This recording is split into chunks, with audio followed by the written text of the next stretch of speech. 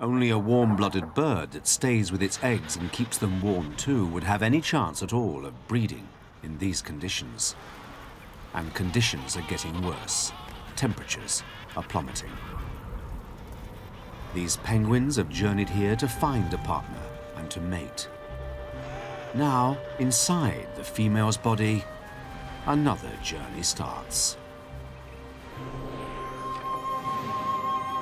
Here in her ovary, the largest of a cluster of follicles has reached maturity and contains an ovum. Most is yolk, food for the new chick.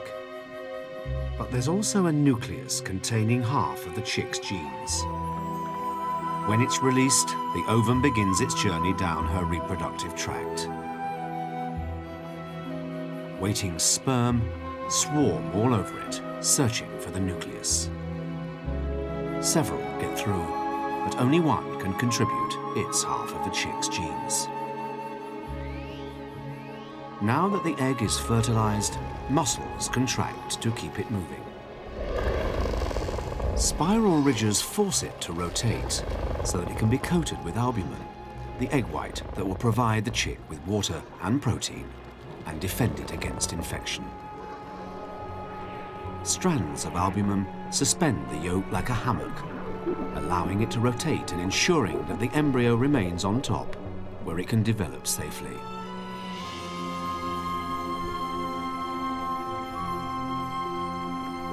Everything is bound together by membranes, but the egg is still soft and fragile.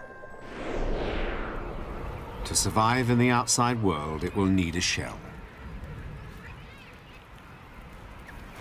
For months, the female penguin has been storing calcium in cavities in her bones.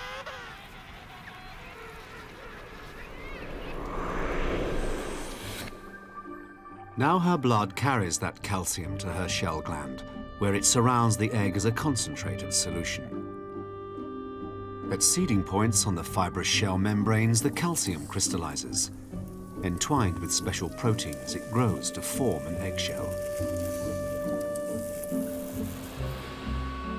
Finally comes the cuticle, which helps waterproof the egg and gives it its characteristic texture. Now it's ready to be laid.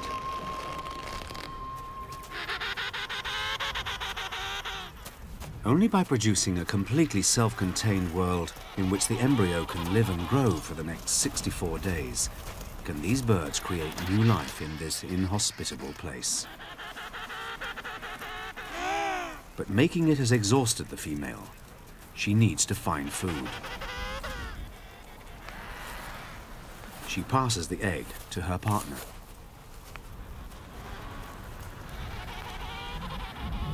He takes it into his brood pouch, a pocket that holds the egg just above his feet and next to a patch of bare, warm skin.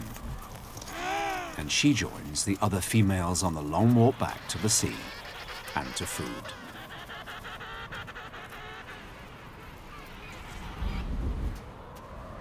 But it will be months before the males eat again. They're just incubators now. It may seem a strange system, but it works. Because inside its egg, the chick has food when there is no food available nearby, and warmth when outside it's freezing.